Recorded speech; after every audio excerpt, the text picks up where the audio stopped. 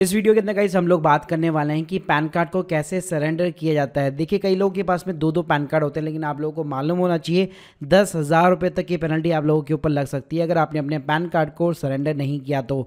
तो आज की इस वीडियो के अंदर मैं यही बताने वाला हूँ, जिसका आधार कार्ड लिंक है, जिसका आधार कार्ड लिंक नहीं है, कैसे अपने ए ऑफिसर को बेसिकली आपको लेटर सेंड करना है, कैसे एफिडेविट वगैरह बनता है ऑनलाइन क्या प्रोसेस रहता है ऑफलाइन क्या रहता है, ये सारी चीज़ जानने को मिलेगी आपको इस वीडियो के देखिए गाइज़ इसके पहले भी मैंने एक वीडियो बनाया था, वैसे दो तरीके होते हैं सरेंडर करने के। एक ऑनलाइन होता है, एक ऑफलाइन होता है। लेकिन देखिए, जो ऑनलाइन प्रोसेस है ना, वो अब यहाँ पे काम नहीं करता है। मैं आपको प्रैक्टिकली बताना चाहूँगा, क्योंकि अब जो है आपका पैन कार्ड आधार कार्ड के साथ में भी लिंक होता है। तो पहले क्या प्रोसेस होता है? इस वीडियो के अंदर मैंने पूरी जानकारी दे रखी थी। पहले हम लोग सिंपली क्या करते थे? हम लोग सिंपली जो है एक पैन कार्ड करेक्शन की यहाँ पे रिक्वेस्ट डाला करते थे एनएसडीएल पोर्टल के थ्रू तो गाइस वहाँ पे क्या होता था? वहाँ पे गाइस जैसे आप पूरी एप्लीकेशन फिलअप करते थे, आपको एक ग्यारहवें नंबर के ऊपर एक कॉलम मिलता था। Mention other permanent account number if any in adversely allotted you and adversely का मतलब होता है कि अनजाने में अगर आपको कोई पैन नंबर इशू हुआ है तो उसको आप यहाँ पे मेंशन कर सकते हो सरेंडर के लिए। लेकिन देखिए, जो भी इस तरह से ऑनलाइन यहाँ पे आप प्रोसेस होता था, वो अब यहाँ पे बंद हो चुका है। यहाँ पे अब आपके पैन कार्ड सरेंडर नहीं होते हैं। और गाइज़ ये चीज़ कुछ ही लोगों के लिए यहाँ पे वर्क करती है। इवन मैंने ये जब वीडियो भी बनाया था तो यहाँ पे आप देख सकते हैं कमेंट सेक्शन पूरा भरा पड़ा है इसी चीज़ों से कि साल मैंने ये सारा प्रोसेस यहाँ पे कर लिया। उसके बावजूद भी मेरा पैन कार्ड जो है सरेंडर नहीं हुआ। और यहाँ पे फ़ीस कटने के बाद में भी मेरे पास में ये ऑप्शन आ रहा है कि please contact to your A officer यानी एन का जो जवाब आ रहा है, वो ये आ रहा है कि please contact to your A officer तो गई जब मैंने प्रैक्टिकल इसके ऊपर छानबीन की और तीन चार हमारे जो केसेस थे, उनको मैंने प्रैक्टिकली जब यहाँ पे हम लोगों ने किया तो आप देख सकते हैं ये ऑफिशियल लेटर है इनकम टैक्स डिपार्टमेंट हम लोग गए और वहाँ पे हम लोगों ने पूरा प्रोसेस समझा। तो ये पूरे प्रोसेस को ही आज मैं आपको इस वीडियो के अंदर बताने वाला हूँ। गई जो अगला मैथड है, वो है सेकेंड मैथड और ये प्रैक्टिकली तरीके से बिल्कुल हर जगह पे पूरे ऑल ओवर इंडिया के अंदर काम करता है, वो send application letter to your A officer with the attachment तो देखिए ए ऑफिसर क्या होता है? बेसिकली आपका असेसिंग ऑफिसर होता है। अब हर पैन कार्ड का अलग अलग असेसिंग ऑफिसर होता है। उसका डिपार्टमेंट अलग होता है, उसका वार्ड नंबर अलग होता है। अब आपको पता कैसे लगेगा? सो so गाइज़ इसके लिए सिंपली आपको इनकम टैक्स की वेबसाइट के ऊपर जाना है। ये लिंक में मैं आपको डिस्क्रिप्शन बॉक्स में दे दूँगा। यहाँ पे आप देख सकते हैं नो योर एओ ऑफिसर इसके ऊपर आपको सिंपली क्लिक करना है। आप गाइज़ जिस पैन कार्ड को भी आप सरेंडर करवाना चाहते हैं, जो भी आपके पास में एग्जिस्टिंग पैन कार्ड है, वो नंबर डालना है और एक मोबाइल नंबर डालना है। गाइस आप यहाँ पे जैसे डिटेल्स डालेंगे तो यहाँ पे आपको अपना टैक्स पे जुरिएशन के अंदर आपका वार्ड नंबर आपको मिल जाता है प्लस आपका यहाँ पे एड्रेस में मिल जाता है, जो इनकम टैक्स डिपार्टमेंट का एड्रेस होता है। अब गाइस आपको करना क्या है? गाइस आपके पास में दो ऑप्शन है। अगर डिपार्टमेंट मान लीजिए आपकी लोकेशन से काफ़ी ज़्यादा दूर है तो आप स्पीड पोस्ट के माध्यम से ये रिक्वेस्ट लेटर और मैं आपको जो एफिडेविट और बॉन्ड बताने वाला हूँ, वो आप सेंड कर सकते हैं।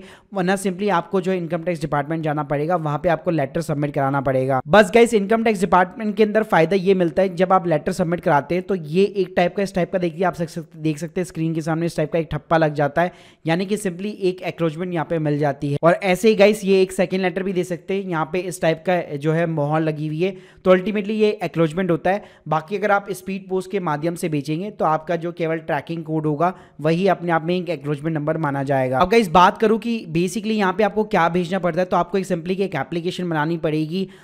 इसका बेसिकली जो फॉर्मेट वगैरह, इसके लिंक मैं आपको डिस्क्रिप्शन बॉक्स में दे दूँगा। इसमें बेसिकली दो पार्ट हो गए एक पार्ट के अंदर आपकी पूरी एप्लीकेशन होगी, जिसके अंदर सारी चीज़ें मेंशन होगी कि आपका कौन सा पैन कार्ड है, कौन सा आपको डीएक्टिवेट कराना है, कौन सा आपको एक्टिवेटेड रखना है, क्या रीज़न वगैरह हो सकते थे यहाँ पे पैन कार्ड को डुप्लीकेट मतलब क्यों यहाँ पे पैन कार्ड जो है सेकंड पैन कार्ड यहाँ पे जनरेट हुआ, और ये सारी चीज़ें इसके अंदर मेंशन होती है। फिर कहीं सेकंड जो पेज है, वो आपको बॉन्ड का मिलेगा, वो एक एफिडेविट टाइप होता है, जिसके अंदर डिक्लेरेशन मैंशन होते हैं कि आपका जो पैन कार्ड आप सरेंडर करवाने वाले हो, उसके ऊपर कोई भी लाइबिलिटी वगैरह पेंडिंग नहीं है, कोई भी डिमांड नहीं है, कोई भी प्रोसीडिंग नहीं है, कोई भी अभी तक आपने आई वगैरह फ़ाइल नहीं की, कहीं पे बैंक या कहीं पे भी डीमेट अकाउंट कहीं पे भी आपने वो पैन कार्ड यूज़ नहीं किया है। तो ये तीन चार चीज़ें कुछ डिक्लेरेशन वगैरह होती है और इसको आपको स्टैम्प पेपर के ऊपर जो है प्रिंट करवाना पड़ता है और इनके साथ में आपको जो है, आपका जो ओरिजिनल पैन कार्ड होगा जिसको आप सरेंडर करवाना चाहते हैं plus copy of the PAN card जो आप एक्टिव रखना चाहते हैं और copy of the Aadhaar card और उसके साथ में ये बॉन्ड्स और ये जो रिक्वेस्ट लेटर है, इन सभी को आपको जो है एओ ऑफिसर को सिंपली तरीके से जमा कराना पड़ता है। और गाइज़ जैसे यहाँ पे एओ ऑफिसर बेसिकली इसको सबमिट कर लेता है तो आप अगर बाई फ़िज़िकल जाएँगे तो इस टाइप के स्टैंप आपको जो है,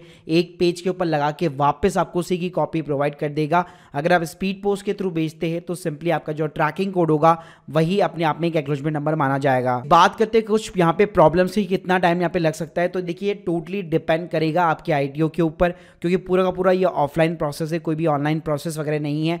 साथ में गाइस अगर जिनका भी आधार कार्ड यहाँ पे लिंक नहीं है तो वो क्या कर सकते हैं? अगर लेट सपोज़ उस पैन कार्ड को अगर आप सरेंडर करवाने की कोशिश कर रहे पे जिसके साथ में आपका आधार लिंक नहीं है तो ये तो बहुत ही अच्छी बात है। सिंपली आप अपना जो भी आपका पैन कार्ड है, जिसको आप एक्टिव रखना चाहते हैं, उसके साथ में हज़ार रुपये की फ़ीस का पेमेंट करके सिंपली आप अपने आधार कार्ड को पैन कार्ड के साथ में लिंक करवा सकते हैं। और इसके ऊपर हम लोगों ने एक सेपरेट वीडियो बनाया हुआ है। बस ध्यान एक रखने वाली चीज़ ये है कि मेक श्योर कीजिएगा, आपका जो पैन कार्ड है, आपका जो आधार कार्ड है, उसके अंदर जो फुल नेम है, जो पूरा डेट ऑफ़ बर्थ है, वो दोनों के अंदर यहाँ पे मैच होना चाहिए, तभी दोनों एक दूसरे के साथ में लिंक हो पाएँगे। वहीं पे कहीं अगर मैं बात करूँ, अगर लेट सपोज़ अगर आपका आधार कार्ड ऑलरेडी लिंक है, जिस पैन कार्ड को भी आप सरेंडर करवा रहे मान लीजिए आपने एक इंस्टेंट पैन कार्ड जनरेट कर लिया था इनकम टैक्स की वेबसाइट से, वहाँ पे बाई डिफ़ॉल्ट ही आपका जो पैन कार्ड है वो आधार कार्ड के साथ में लिंक हो चुका है।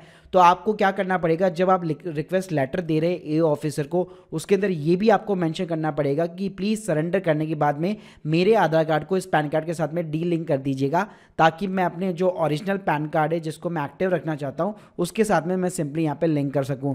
तभी गाइस आप यहाँ पर जो है, उसको एक्टिव रख पाएँगे और यहाँ पर आप लिंक कर पाएँगे अपने ओरिजिनल पैन कार्ड के साथ में। तो guys you like this video please subscribe channel और अगर गाइस आपको पैन कार्ड से रिलेटेड कोई भी कंसल्टेंसी चाहिए सर्विस चाहिए तो इन सभी के लिंक आपको डिस्क्रिप्शन बॉक्स में मिल जाएगी, जहाँ पे बहुत ही कम कॉस्ट के ऊपर आप हमारी सर्विस अवेल कर सकते हैं। Thank you guys thank you very much